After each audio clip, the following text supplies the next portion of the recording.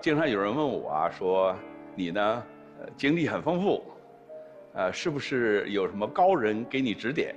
就是老能踩的那个点儿呢，其实不是老能踩上热点，最后就看老师让你做什么你就做什么。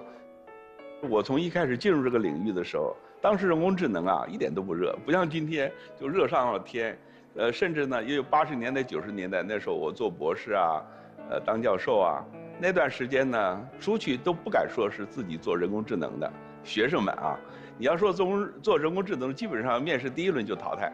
怎么做人工智能哪还有这个行的？所以我们那时候的学生毕业以后都要说是做图像处理。就不能说做人工智能。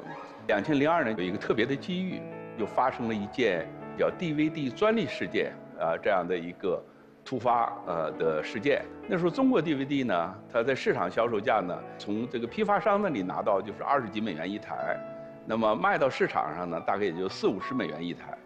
那么国外厂商，比如日本的厂商、欧洲的厂商呢，它这个成本呢就是一百多美元，卖呢要卖两百多美元。所以中国这个产品一出来呢，基本上就是四分之一价格就在市场上就就给市场带来非常大的冲击。那冲击的结果呢，那些厂商呢就要对中国的产品呢就想法去卡你，就像今天的卡脖子一样，那时候也是卡。呃，怎么卡呢？呃，就问你有交了专利费没有？因为当时那个机器里面用的编码算法，啊，是这个国外厂商很多厂商联合到一起做的。两千零二年有段时间，这个一整船集装箱出口到这个德国的，出口到欧盟的，在德国那个口岸过不了关。那超过了这个呃通关期以后，就会产生压舱费。那压舱费呢积累起来就就很高，越积累越高，最后压舱费都超过了那个 DV 机机的售价了。这个船主就问国内的这个厂商说怎么办？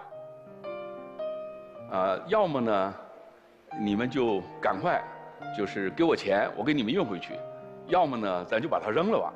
后来厂商一算，这个运回来的运费加上压舱费，那个成本太高，就说那你就扔了吧。所以呢，一整船的集装箱的 DVD 机就被扔到海里去了。所以，所以那是一个很惨痛的教训。那么当时就说，你们能不能想法，呃，帮助国内的厂商啊，提供一个解决方案？呃，这个解决方案至少让他们少受一点气，所以我们大概经过二十年的时间，从高清开始做呃视频编解码，然后做到后来的呢啊 4K，呃后来做到今天的 8K，再加上现在人工智能的加持，呃编码的效能呢效率呢越来越高，所以今天呃我们这些技术呢，我们的厂商在做产品出口的时候呢，就完全不用担心再会。